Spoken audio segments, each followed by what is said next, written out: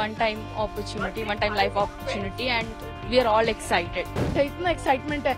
Every second felt like an hour अभी तक पचपन वंदे भारत ट्रेन आ चुकी है और इनकी स्पीड भी बहुत अच्छी है और इनकी फैसिलिटी भी बहुत अच्छी है। और इनकी सबसे अच्छी बात है ये मेड इन इंडिया हम बहुत ज़्यादा गर्व महसूस कर रहे हैं कि हमें टाटा नगर से ये तोहफा मिली है।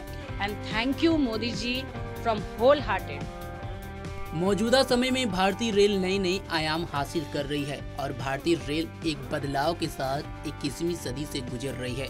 पहले के दौर के मुकाबले भारतीय रेलवे काफ़ी आगे जा चुका है और जो पुराने ट्रेनें हैं, उसमें काफ़ी बदलाव देखने को मिल रहा है। इसी कड़ी में भारत सरकार ने वंदे भारत ट्रेन को सामने लाया। आज झारखंड के दौरे पर पीएम मोदी ने रांची से छह वंदे भारत ट्रेनों को हरी झंडी दिखाई। इसके बाद वह जमशेदपुर पहुँचे और जनसभा को संबोधित किया। पीएम मोदी ने जिस वंदे भारत ट्रेन को झंडी दिखाई, वो वंदे भारत ट्रेन कई लोगों को लेकर के अपने आगे के रास्ते के लिए चल दी। और इस वंदे भारत ट्रेन में कई लोग मौजूद थे, छात्र से लेकर के महिलाएँ और काफ़ी लोग। और वंदे भारत के सफ़र को लेकर के उस ट्रेन के यात्रियों ने, खासकर छात्रों में काफ़ी उत्साह देखने को मिला। और जब इनसे बातचीत किया गया तो छात्र काफ़ी खुश नज़र आए और वंदे भारत की सुविधा के बारे में बात करते हुए इस ट्रेन की छात्रों ने काफ़ी सराहना की। सुनिए छात्रों ने वंदे भारत ट्रेन को लेकर के क्या कुछ कहा। सबसे पहले thank you Modi ji. Vande Bharat express हमारे भारत में काफ़ी बदलाव लाने वाली है। ये हमने जो कदम बढ़ाया है, हम कह सकते हैं कि हमारे इंजीनियर्स काफ़ी काबिल है और इंजीनियर्स के द्वारा ये जो बनाई गई ट्रेन है, ये काफ़ी काफ़ी बहुत ही वंडरफुल है ये ट्रेन ये काफ़ी डेवलपमेंट लाएगी हमारे देश में और ये जो हमने कदम रखा है ये हमारे देश को काफ़ी आगे तक लेके जाएगा.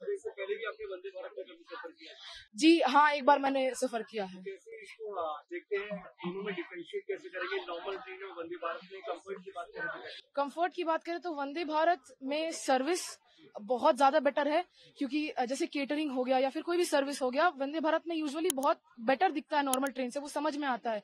जो हाइजीन और क्लीनलीनेस मेंटेन होता है जो स्पीड है ट्रेन का जो एक्सपीरियंस एक होता है ना वो एक रिच और लग्जरी एक्सपीरियंस आता है और वो सिर्फ़ एक्सपीरियंस करके ही मालूम पड़ता है।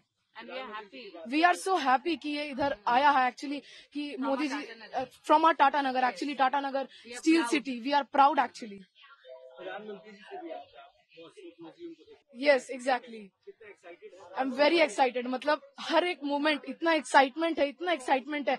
Every second felt like an hour exactly Indian railway के बारे में क्या कहना चाहेंगे? इस वक्त आप रेल में भी बैठे हैं वंदे भारत एक आधुनिक है। हाँ इंडियन रेलवे भी बहुत बहुत जल्दी प्रगति कर रहा है और नए नए वंदे भारत ट्रेन से भी हमारे देश को बहुत बेनिफिट होगा। अभी तक पचपन वंदे भारत ट्रेन आ चुकी है और इनकी स्पीड भी बहुत अच्छी है और इनकी फैसिलिटी भी बहुत अच्छी है और इनकी सबसे अच्छी बात है, ये मेड इन इंडिया है। We are really happy for having gotten this golden opportunity and we have a lot of question and we are also expecting to hear something from sir and to meet him it is a one time opportunity one time life opportunity and we are all excited that's all I to say it is a one time life opportunity and it was really unexpected, and obviously we're all lucky to be here today. सबसे पहले मैं धन्यवाद देना चाहती हूँ मोदी जी का कि हमारे टाटा नगर से धन्यवाद मोदी जी और हमारे टाटा नगर से ये वंदे भारत शुरू हो रही है।